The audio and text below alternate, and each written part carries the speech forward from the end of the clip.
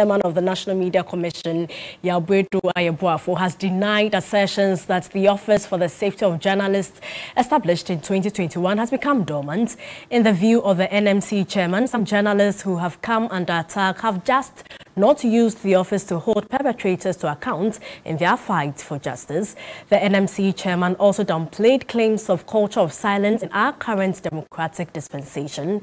Yaw Boadu-Ayeboafo has been speaking with William Evanson Kum.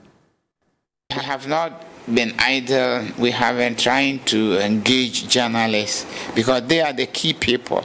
You know that one of the difficulties that sometimes the commission faces is the fact that when journalists are in trouble, uh, they never think about reporting to the commission.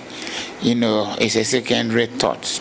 And even in the matter of Caleb Kudah, we had to personally intervene with the management of Citi FM before they wrote to so many people who cannot help them, except the politics of it.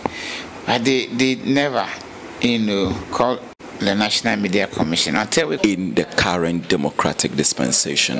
Some believe that their views are being suppressed in a way that contradicts the very position of the Constitution and the very tenets of democracy.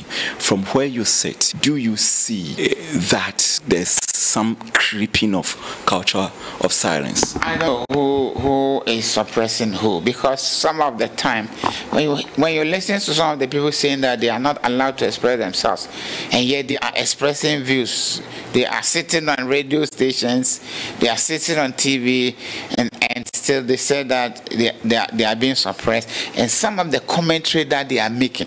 Recently, I listened to a program on a radio station where somebody was saying that Nana akufo is a lawyer, but he doesn't understand the law, and that we don't need uh, any referendum for the election of this year. And he was quoting from the Constitution. Meanwhile, the, the, there's nothing like that in the Constitution. This ignorant person. What I know from where I sit is that because of the political intolerance in the country, if you speak favorably of the NPP, then DC people will attack you. If you speak favorably of the NDC, NPP people will attack you.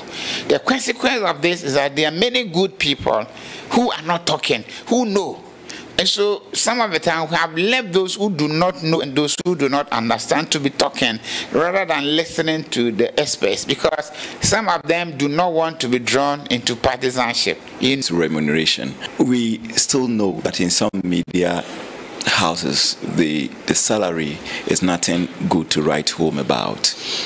What is the National Media Commission doing about this? Because this is an yeah, old issue. National Media Commission it can do very little without support from both journalists and those who have invested. Because the National Media Commission cannot decree that when you employ people, pay them this or pay them that.